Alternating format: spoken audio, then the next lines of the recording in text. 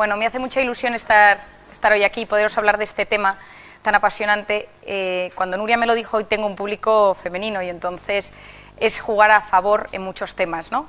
Pero tampoco va a ser una charla feminista, sino que va a ser una charla en que por qué somos diferentes. Por qué somos diferentes y por qué somos complementarios y el rol de la depresión, que sí que es más frecuente en la mujer que en el hombre, estamos hablando de cifras de dos o tres veces más frecuente, las causas y qué está pasando en el siglo XXI para que esto se vea cada vez más.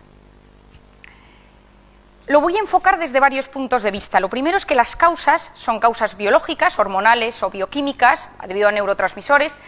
Por otra parte, hay causas psicológicas y hay causas sociales. El mundo está cambiando mucho y el rol de la mujer ha cambiado mucho y eso, por supuesto, está afectando a su estado anímico.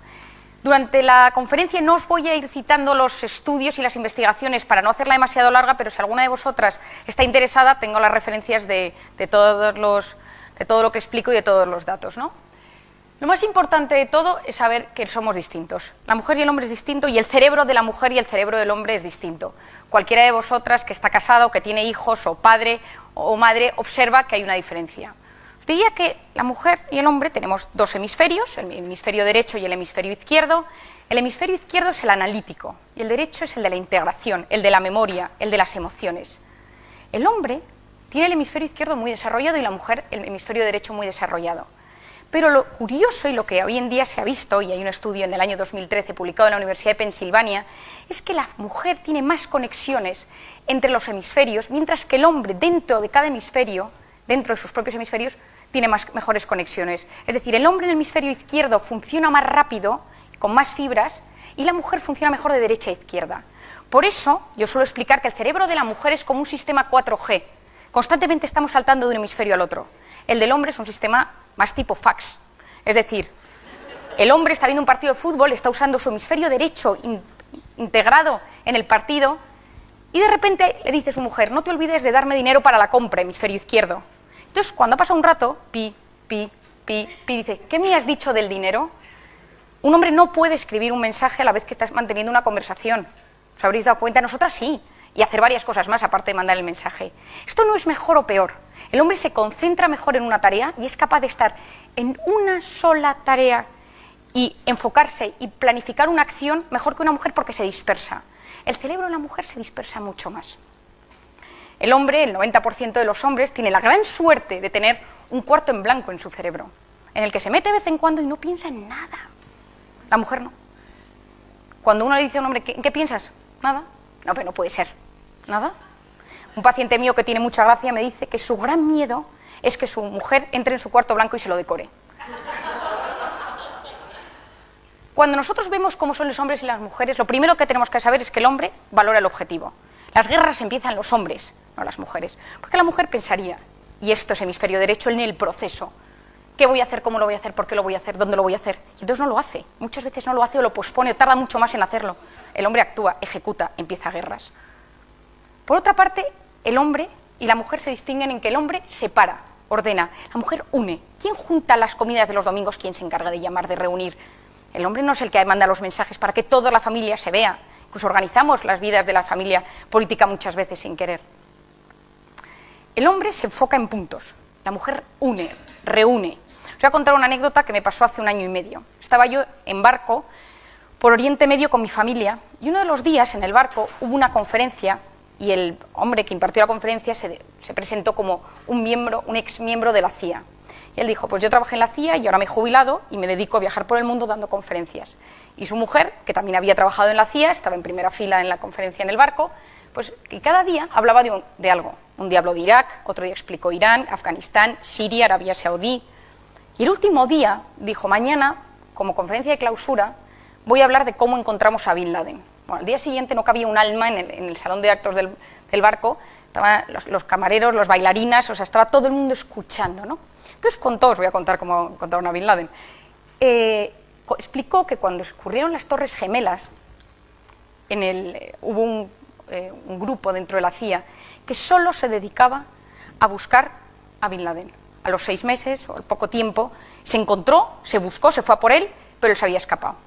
Y se tardó diez años más en encontrarle. ¿Qué pasó en esos diez años? ¿Por qué se tardó diez años en encontrar? Bueno, pues había un grupo de hombres, esto es lo que él contó, un grupo de hombres que buscaban y tenían muchísimos datos, y al cabo de un tiempo, eh, una de las, una mujer, él contó, se ofreció a trabajar en ese grupo, y él dijo que no, que no se metían mujeres en el grupo, que ya estaba el grupo hecho y tal. Pero insistió tanto que le metieron. Y entonces le hice una presentación de todo lo que sabían, pues este, este dato aquí, esto aquí, tal. Y al terminar, esta mujer dijo, Bin Laden está aquí. Los otros le miraron, perdón, porque si esto es tal, esto es tal, esto se ha dicho que tal. Entonces hizo una conexión de todos los puntos y puso una cruz. Y allí se encontró a Bin Laden. Y él explicaba, yo ahí entendí cómo funciona el cerebro de la mujer. La mujer, todo son conexiones, todo supone, todo ve, ve cosas más allá. El hombre ve puntos, es muy monofocal y ve el punto mejor que nosotras, mucho mejor. Pero, pero la mujer se dispersa y puede llegar a encontrar cosas que el ojo del hombre no ve hay que saber también nosotros cómo resolvemos nuestros conflictos. Muchas veces nosotros al principio nos quedamos calladas porque estamos intentando que, que sepan qué nos está pasando. Pero hay una cosa todavía más importante. Cuando un hombre está mal, se aísla. Y la mujer va y le dice, ¿qué te pasa? Dime, ¿qué te pasa? Cuéntamelo. Y el hombre no quiere hablar, se calla. Entonces, cuando la mujer está mal, el hombre piensa, claro, mi mujer necesita su espacio, como yo cuando estoy mal. Y la mujer no, la mujer necesita hablar, y hablar, y hablar, y contarlo porque la mujer resuelve esos conflictos cuando ya se ha abierto la puerta hablando. Y muchas veces hombre lo único que tiene que hacer es escuchar, no decir, bueno, yo opino que podría, no, escuchar. Esto muchas veces en las terapias de pareja, cuando la gente viene, es un desconocimiento de cómo funcionamos los hombres y las mujeres.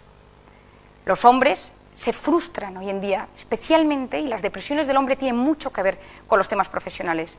La mujer, que se ponen tristes, suele tener más con los temas afectivos. ¿Qué es lo que tenemos que pensar? Que cuando la mujer quiere algo, necesita sentirse querida.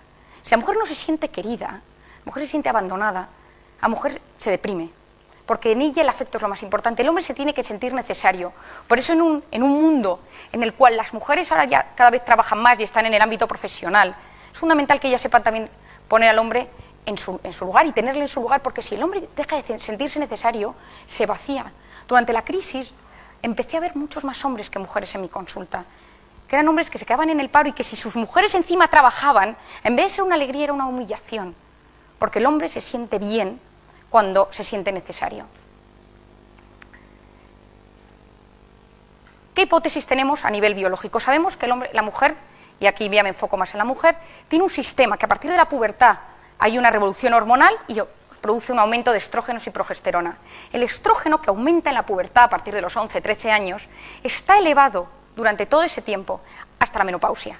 En toda esa etapa, que es la, edad fértil, la etapa fértil de la mujer, la mujer es mucho más vulnerable a sufrir una depresión que el hombre. Hasta los 11-13 años, las cifras hoy en día que se manejan de depresión infantil en los niños son las mismas entre el hombre y la mujer, entre el niño y la niña. Pero a partir de los 13-14 años se disparan las cifras en la adolescencia todo, luego hablaré específicamente del síndrome de tensión premenstrual, en el embarazo, en la lactancia, el posparto, la menopausia, etcétera. Pero tiene mucho que ver con el estrógeno. El estrógeno, vosotros sabéis que la serotonina es la hormona encargada de la felicidad, del bienestar, del apetito, incluso del dolor. La serotonina se afecta con el tema de la subida y bajada de estrógenos. Son dos hormonas que están íntimamente ligadas. El famoso Prozac, fluoxetina, es un inhibidor de la, recaptación de serotonina y que es básico para el, estado anímico. Y los estrógenos en la mujer, en esos momentos de fluctuación, alteran los niveles de serotonina. Tenemos una hipótesis psicológica que esta le quiero, me quiero detener un poco más. Ha cambiado la sociedad. Nosotros, cuando estamos preocupados por algo, segregamos una hormona en nuestro organismo que se llama el cortisol. El cortisol es la hormona del estrés y de la supervivencia. Es decir, que si ahora viene una persona de seguridad y dice fuego, gracias al cortisol salimos corriendo. Pero si nosotros volvemos y nos dicen, ha sido una falsa alarma, ha sido, no ha habido fuego, nosotros nos volvemos a sentar aquí dentro de 15 minutos, tras haber salido corriendo y haber vuelto a entrar, y ninguna se encuentra como ahora. Estamos alteradas internamente, y eso que no ha pasado nada, no ha habido fuego. Pero el cuerpo, el organismo, tanto la mente como el cuerpo, lo ha vivido como si, como si hubiera un fuego. Imaginaos que volvéis aquí dentro de un mes, estáis en la siguiente charla y alguien dice, huele a fuego y vuelve a rememorar lo que pasó la vez pasada. El organismo solo con sentir eso que está pasando vuelve a sufrir el mismo pico de cortisol que si hubiese un, que un incendio. Si una encima ya viene de vez en cuando liese y piensa, la verdad es que en este sitio hay muchos incendios, ¿eh? Y solo con pensarlo, aunque no haya un incendio, ni haya olido el fuego, en ese momento el cerebro desencadena el mismo pico de cortisol. Es decir, este cortisol se genera igual cuando pensamos algo negativo que cuando nos sucede algo negativo. Lo mismo. Se han efectuado pruebas en resonancias magnéticas funcionales, de esas que se meten y se ven colores en, el cerebro de la gente, diciéndole a alguien, imagínate que te llaman para decirte que tu padre ha tenido un infarto. ¿Qué harías? Y en ese momento exactamente se ve una alteración en las zonas de, las emociones del cerebro y una subida del pico de cortisol. Si a una persona se le dice, imagínate que te ha tocado la lotería y que has ganado un millón de euros, ¿qué harías con ellos? El cerebro segrega dopamina, la hormona de la confianza y de la felicidad. Solo con pensar en positivo, nuestro organismo se altera. Solo con pensar en negativo, lo destrozamos. ¿Qué sucede? Que en la era en la que nos encontramos ahora mismo, estamos constantemente preocupados por cosas que casi nunca suceden. El 90% de las cosas que nos preocupan y que están en nuestra mente nunca jamás suceden, pero están en nuestra mente alterando nuestro organismo como si estuvieran pasando.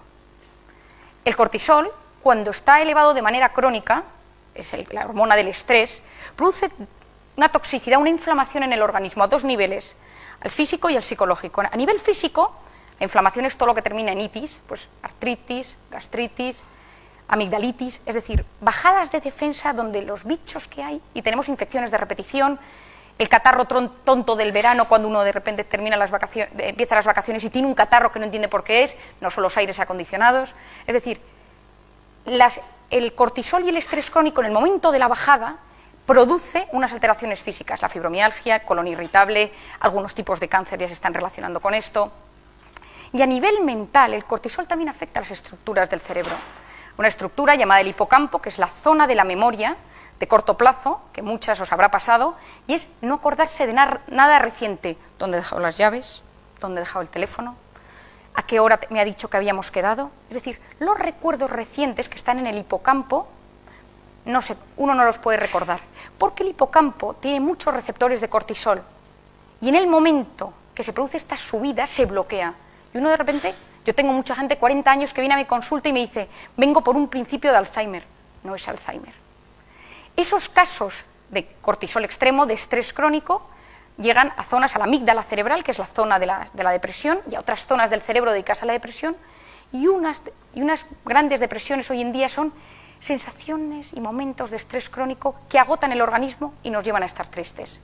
Hay depresiones por otros temas, pero hoy en día cada vez más estoy viendo cuadros depresivos que se origina, aunque la causa viene de haber vivido muy estresado, muy preocupado. Y esto se puede cambiar y esto se puede modificar. ¿Y cómo podemos eliminar el cortisol de nuestro organismo? Pero ¿qué pasa? Que la mujer hoy en día está expuesta a muchas cosas. Ha cambiado el, rol, la mujer trabaja, la mujer está en mil cosas. Hay una periodista llamada Alison Pearson que tiene, escribió un libro sobre cómo la mujer hoy en día llega a todo y ella le escribe en The Guardian, si a alguna le interesa luego se lo envío, y ella en un momento dado publica en el blog, tengo una depresión. No es que, no quiera, no es que me quiera suicidar, pero no me importaría dejar de existir un tiempo. Entonces esto revolucionó Inglaterra, porque era una mujer que había demostrado que se podía tener una familia, trabajar, estar en todas partes y que se podía estar bien. Y ella de repente empieza a escribir lo que se siente estando deprimida. Y ahí es cuando ella habla, por primera vez en su blog, que en Inglaterra se lee muchísimo, de lo que es una depresión. ¿Y por qué la depresión hoy en día está afectando tanto a la mujer? Si a la edad de los 30, de los 40 años, la mujer está en absolutamente todas las cosas y preocupada por todo un exceso de perfeccionismo, cada vez estoy tratando más en mi consulta mujeres con síndrome del perfeccionista. El perfeccionista es el eterno insatisfecho, el que nunca es capaz de disfrutar, porque todo podría mejorar siempre.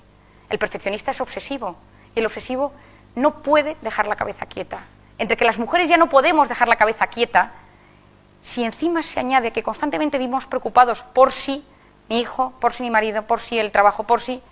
Otro día me decía una médico que, tengo, que estoy viendo en la consulta que ella está de guardia en la UCI y es capaz de llamar por teléfono a su casa y decir no os olvides mañana de sacar la carne, los uniformes del colegio, es decir, y ella está en la UCI salvando vidas, porque la mujer hoy en día está expuesta a salvar una vida y que su casa siga adelante.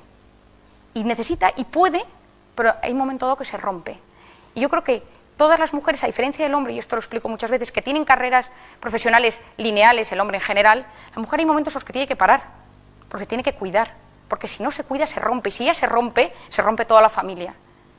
Y eh, como cuando pensaba en las causas y cómo lo quería transmitir, y no quería que fuera una conferencia puramente científica, de hablaros de la serotonina y de cómo el estrógeno y la serotonina están eh, relacionadas, pensaba en esto, ¿no? Y hoy en día encontramos mucha literatura al respecto.